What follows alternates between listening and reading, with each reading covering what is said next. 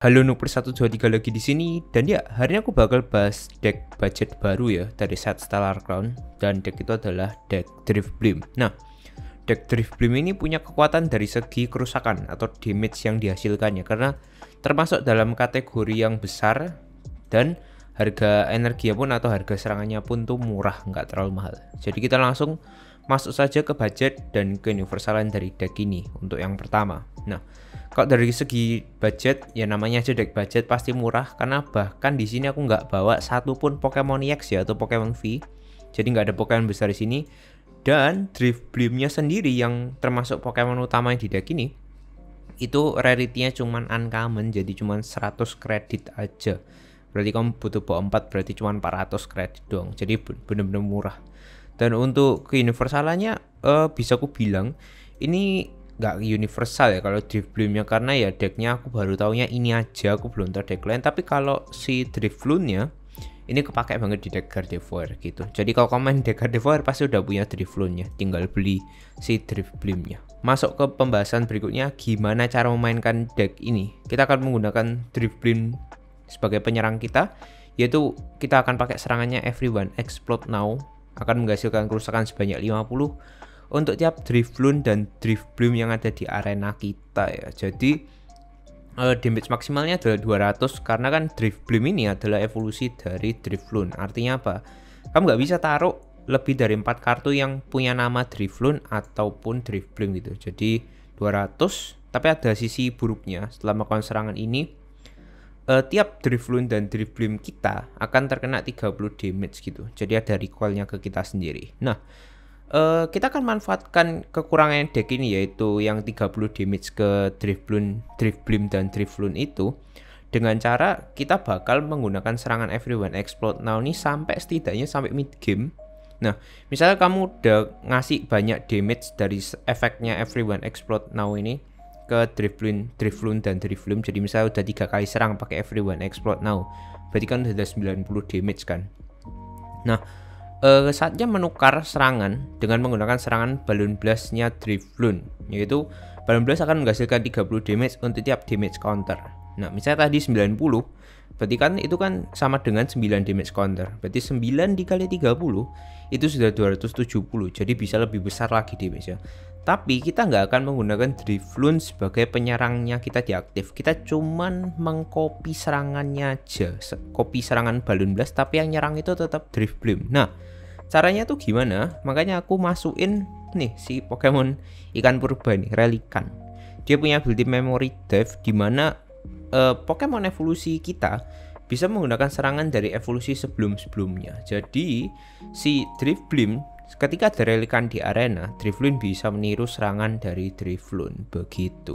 Tapi ingat ya ini ada tulisan unit still eh, you still need the necessary energy to use each attack. Jadi kalau kamu nyerang sama balloon blast, pastikan drift blindmu itu ketempel dua energi. Kalau cuma satu nggak bisa.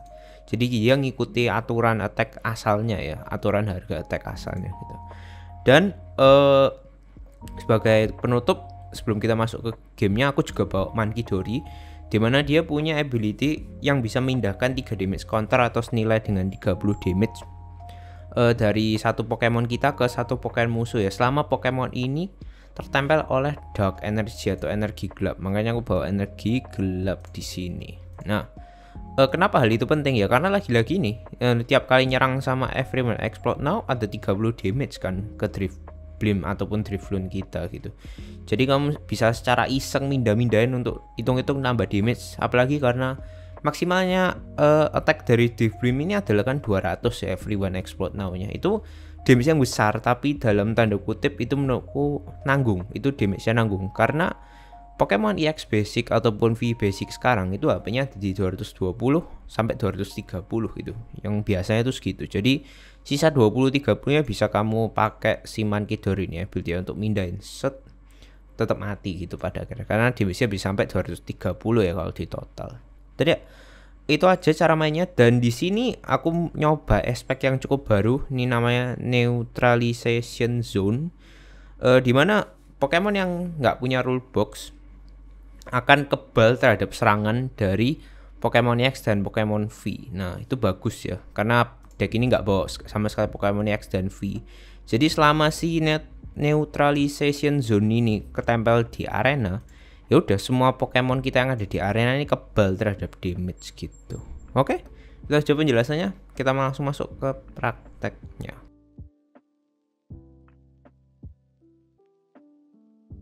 Masuk langsung engine gamenya dan untuk deck ini ya, kalau misalnya kalian mau maju pertama silahkan, mau maju kedua juga silahkan gitu.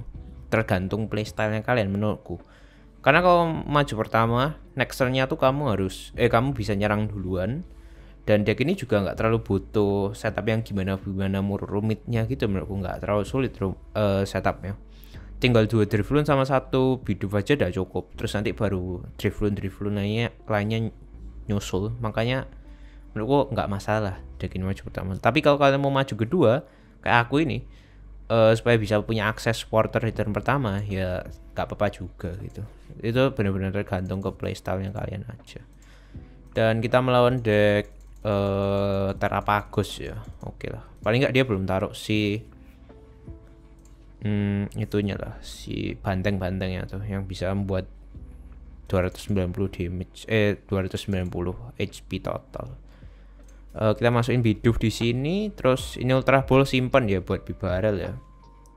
Tadi masukin aja langsung expisher dan ya kita skip nah kayak gini tuh udah bagus gitu. Bahkan kalau cuma dua drifloon aja juga udah bagus. Makanya ya bener-bener terserah kalian maju pertama kedua. Pokoknya setup awalnya kayak gini lah ya kurang lebih. Minimal dua drifloon sama satu biduf kalau bisa empat drifloon ya silahkan gitu. 4 drifloon satu biduf sama satunya tuh biasanya mankidori. Atau misalnya kamu nggak mau pakai mankidori ya berarti pakai dua bibarel tuh ya bener-bener terserah kamu ya. Oke di Iono, tapi kalau aku sih suka slot terakhir itu buat main Kidori aja. Oke ini bagus ini, next turn kita udah bisa nyerang ini.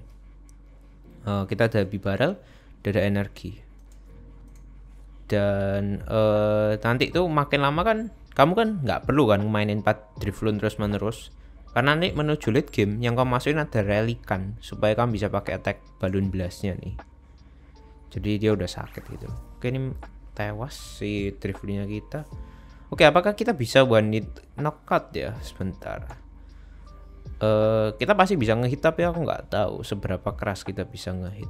Uh, yang jelas kayak gini, masukin ini, uh, masukin ini, terus Artazon buat ngambil Nother Drifloon. Oke, okay, oh kok udah nggak ada ya? Berarti uh, Mankidori aja deh. Mankidori. Oh berarti kita cuma punya tiga ya. Oh my god. Uh, berarti gini aja kita ambil pakai sprout terus kita berarti nyangkut satu ini drift nya di press. Makanya aku pakai Arven buat bisa ngambil ini heavy ball. Dan XP share lagi uh, set uh, heavy ballnya kita masukin. Nah ini ketemu. Terus ya set kita pakai bibarel Oke, okay, dapat neutralization zone. Jadi kalau misalnya dia nggak ganti stadium ya kita aman ya. Tapi kayaknya ganti deh karena kan Terapagus pasti main area zero ya. Kayaknya keganti, tapi semoga jangan. Oke, jadi di next turn kita tinggal pindah ya ini. Uh, kita aku tinggal pakai Arven buat nyari uh, Earthen Vessel kita bisa ambil energi darknya terus pindahin 30 damage si Terapagosnya tetap mati ya walaupun dengan bufalan karena bufalan ini bentuknya resisten ya pengurangan damage gitu. Dia nggak nambah HP waduh no. Kenapa dia mainin Charen sekarang ah, curang anda. Oke. Okay. hmm, oke. Okay. semoga jangan ada area zero di antara kita. Karena kalau ada area zero ya sebenarnya nggak apa sih. 46 itu masih bisa kekejar. Oke. Okay. curse blast uh, waduh. Drifloonku mati satu. Oke tapi nggak apa lah at least satu satu mati kamu juga satu mati masih lima sama. Nah, makanya deck ini tuh kurang suka sama yang deck ngelawan deck-deck yang kayak gini ya yang bisa ngasih damage counter kayak Dust Club habis itu atau spread nah itu apalagi deck spread deck ini sulit banget. Karena ya kita sendiri tuh udah ngasih damage ke Pokemon kita. Apalagi Pokemon kita Pokemon kecil apalagi terus nanti di spread. Waduh tambah sulit udah. Oke. okay. Uh, kita lihat. Semoga dia nggak bisa masang dua bufalan ya. Karena kalau dia masang dua bufalan berarti seranganku cuma 120 ini. Atau bahkan karena aku cuma bawa tiga berarti bisa-bisa 70 aku perlu naik stretcher ini uh, jujur kita belum perlu itu kayaknya. Uh, oke okay, dia nggak naruh bufalan so ya kita aman ini. Driflin kita aman kayaknya. Kayaknya ya. Oke okay, dia mundurin. Berarti dia nggak bisa nyerang ini. Lumayan berguna juga ini stadium okay. tapi jangan terlalu berharap karena sekarang lagi metanya stadium ya. Jadi agak sering keganti. Oh kita dikasih ginian. Oke okay, kita boleh. Uh, kita bakal pindahin dari yang aktif aja. Karena ya ujung-ujungnya sih yang diaktifnya bakal KO dengan sendirinya. Terus uh, hmm, boleh satu. Terus Arven. Bentar kalau Arven oh ya Arven aja deh. Aku bisa ngambil stretcher ya. Nah, stretcher. Makanya aku bawa banyak banget uh, kartu trainer untuk nge-recycle ya. Karena deck ini perlu banget untuk nge-recycle gitu. Oke agak overkill tapi nggak masalah. Uh, ini masukin si dribbling terus kita serang everyone explode now Oke, si dribbling ini sudah 36 damage counter ya. Berarti udah berapa? 180. Masih kurang sih. Idealnya itu 90 ya. Tapi kalau bisa ya pepetin sampai 120 gitu biar damage-nya bisa sampai 360 makanya minimal tuh 90 makanya tadi aku selalu ngomong itu 90 karena itu sudah 270 udah lumayan banget oke ini si dribblingku bakal KO terus nanti dribbling cadanganku masuk terus ya aku mulai nge-setup relikan ini di momen ini udah. Oke. Hmm, aku belum bahas apa ya. Oh ya performa. Performanya deck ini ya ini deck rank ya menurutku. Standarnya standar rank bukan standar casual. Oke pasti tarik bibarel gue ini. Atau apa? Itu kan bibarel yang tarik. Dah ketebak sekali. Dia potong supplier kartu gue ya uh, tapi menurutku jangan ngarep kamu bisa menang terus ya sama deck ini. Oke wow dia skip lagi karena dia nggak bisa mindahin net neutralization zone ku mantap. Untuk ngebawa switch makanya ngebawa switch satu di sini. Uh, makanya eh tapi jangan ngarep menang terus sama deck ini gitu.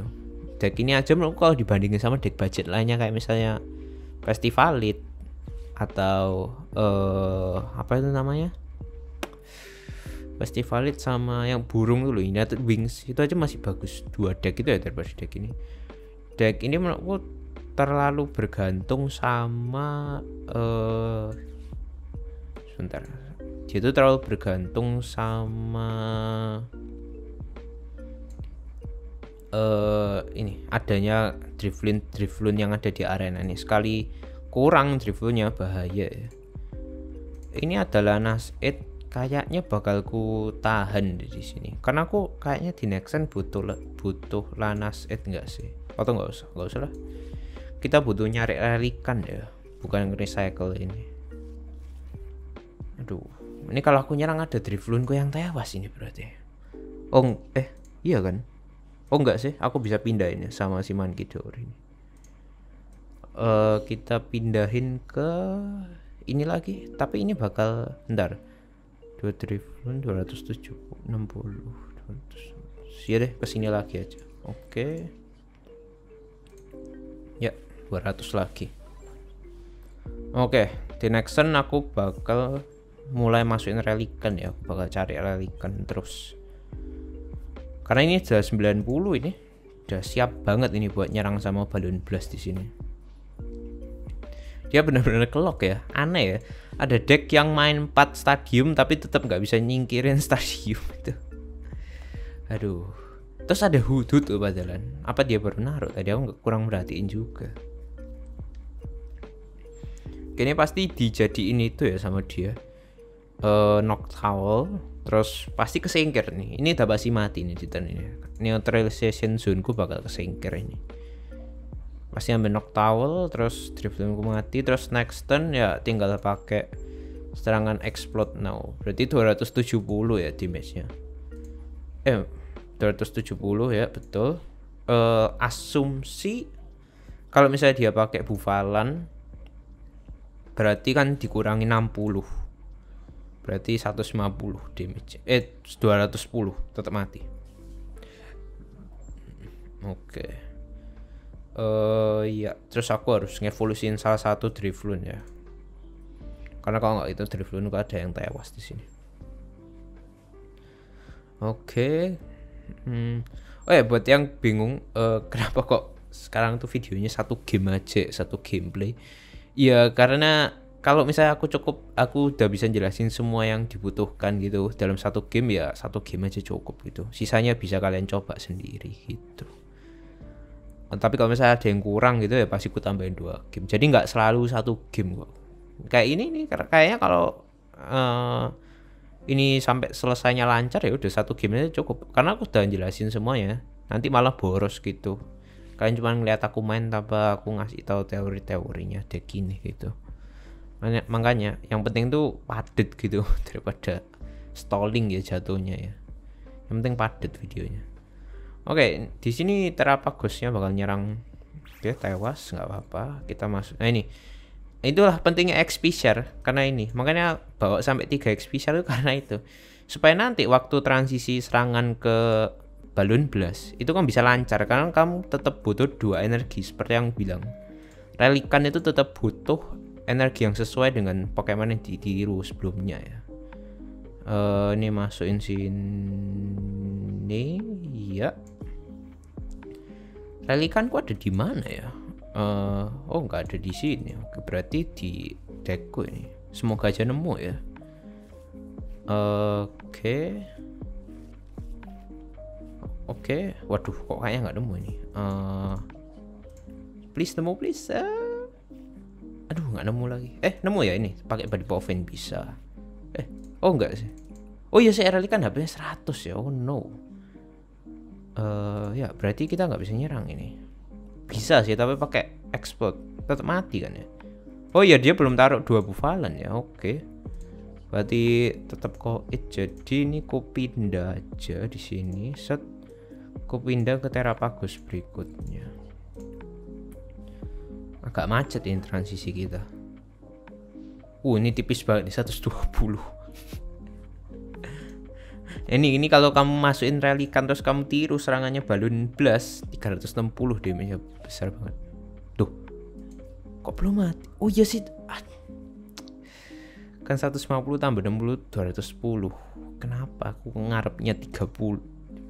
aku ngitungnya lebih aduh ah, ya udah nggak apa percuma juga tadi kalau aku nggak nyerang ya juga uh, tambah bahaya ya nggak apa uh, sebentar.